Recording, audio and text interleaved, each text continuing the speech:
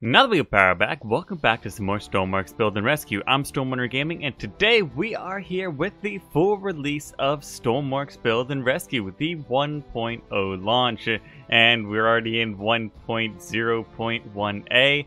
I am in that experimental branch because today I'm going to be jumping into a tutorial for the module engines. And if you guys don't know how to get your game into that experimental branch, you guys can stick around and find out right now. But if you do know how to do that and have already switched your game over, you can just skip over. I'll put a timestamp in that description down below so you can jump to where the tutorial actually starts. So when you go on to your Steam page here, move over to your Stormworks Build and Rescue game, click right on it, drop down to those properties, and this menu will open for you. Clicking over to your Betas tab, and you can click into this drop down menu right here that you should be able to click on the Experimental Public Testing branch, and that should give you the setup for modular engines. So of course if you are following along with this tutorial, the modular engines are not part of the actual 1.0 update, which is, eh, I don't know how I really feel about that. They're a really cool addition to the game, but there are a ton more things with 1.0 that I'll be looking at in a future video. I have a ton of different like highlights on good things, bad things, that I am going to be pointing out. It's just going to take me a little bit longer to get that video out. Anyways, one of the new things with 1.0, we have to make our own custom game here, and it doesn't really matter where we spawn right now. I'm just going to go to the generic creative base in a custom mode here. The Stormworks developers have actually switched it over so you can change weather and game stats, or not stats, settings in game now, so that is a really cool addition. As we jump into today's tutorial, I would like to quickly thank Exploderize for not only helping me figure out the different parts of the modular engine, but he also gave me what he calls his flat 8 he created to kind of show me where everything goes and a really good working engine here. And if you guys remember the small engine sound, and this should give you a little flashback because they put the same exact sound on the modular engines and you'll probably hear it in my future videos with cars I create, but yeah, the small engine now has a new sound to it that's pretty quiet. I'm really surprised. Anyways, enough about the sound design in game. Let's start creating our own modular engine. And I'm going to create a base, and let's start getting a few parts for the engine here. So I'm just going to search up modular here, and this is the full list of parts we're going to need. I'm just going to grab a few so we can get started here. The first piece is that crankshaft, the next piece being a cylinder, the third piece being our drive belt, as well as a clutch. And that's just going to create the body of the engine we're building today. And I'm just building a two-cylinder right now, but if you want to build a larger engine, of course it is modular, so you can go to your heart's content as large as a build box as you have. So the first piece we want to put down is that crankshaft, having those circles going to the front and to the back of your engine, and then connect it right up to these circles so now we have two of them connected. On the front end, where that circle is, we're going to be dropping a drive belt, and on the back end, where that circle is as well, or the rear circle here, we're going to be dropping that modular engine clutch. And the fun part, putting in a few cylinders for the engine. I'm just going to be dropping two on this left side here.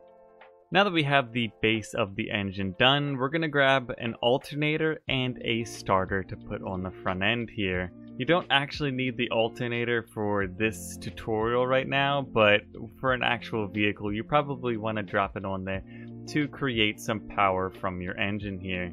And you're going to want to connect it to one of the four, what are these, rectangles on the edge of the drive belt. So it connects the belt together and runs the engine. Alright, the next part, I'm just going to dig a little hole underneath our two cylinders here so we can put in some exhaust for the engine. We're going to have to grab just basically any exhaust piece you want here to connect it up to the cylinders here. And then I'm also going to search up exhaust, if I can get the correct spelling, and grab the fluid exhaust there. Now for every bank of cylinders, all you need to do is connect up an exhaust manifold to a cylinder and then put the fluid exhaust on the end of that.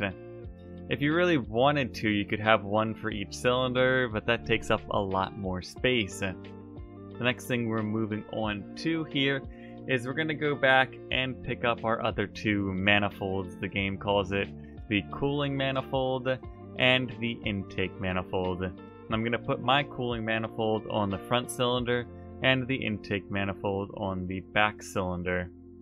Now we're going to grab a bunch of things from our menu real quick. First off, two easy pieces of piping, an angled and a straight one. then we're going to go get, what, three other things? A fuel tank, an air intake, or what it calls a fluid port, as well as a radiator. So make sure you guys have the radiator, the fluid port, the any fuel tank if you want to create your own custom one, that's fine, and then pipes. So the first thing I'm going to hook up with all of this, I'm going to hook up the cooling on the front end with that radiator and just a couple pipes here. So just make two little branches off of it. Doesn't really matter which side, and connect it up just like that. I'm raising my radiator up one so I can easily just connect it up like that. I can just get rid of those blocks. And for the intake manifold, one side is telling us we need to connect up air, and the other side fuel. And I was actually confused about this when I originally built the engine, but you do not need a fuel pump for some reason for the modular engines. So you can just connect it up directly to a fuel tank running diesel here for the engine to work. And that's just about everything we need for the engine. Let me triple check that everything's looking pretty good, everything's connected correctly up. And this is a super compact engine I have no idea how much power this will actually produce for moving boats, cars, but we're definitely going to see in the upcoming weeks what people are going to be creating with these pretty cool engines here. And I'm just dropping a propeller on the back end. You don't have to do that yourself, but that'll just show that the clutch is sending out power to whatever we want it to. The last few things we need to get this thing moving, we're going to need a battery because in advanced mode, or I guess technically it's the only mode now, we need to send power to everything. We're going to need a push button as well as a throttle. I do apologize if I type in a bit faster than you guys, but hopefully you can just pause it when I grab a couple parts and maybe grab those pieces and then continue or something. Anyway.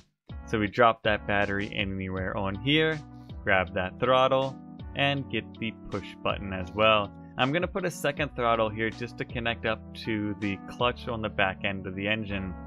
So connecting up that clutch to one of your throttles, connect up the second clutch to that intake or intake manifold. So that's going to be your basic throttle for the engine here.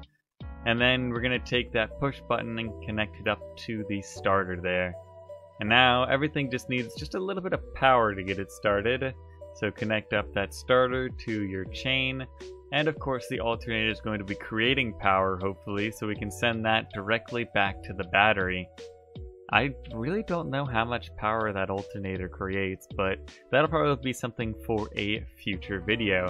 So let me triple check over all of this and make sure it should run when we get it out to the world.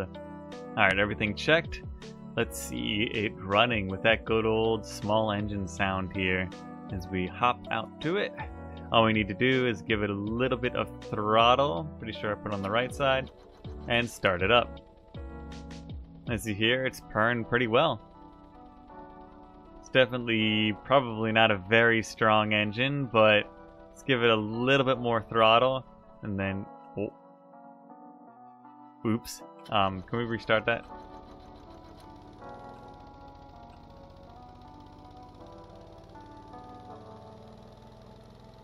Did they put a sound on the propeller? Do you guys hear that? Hold on. I'll be quiet for a second.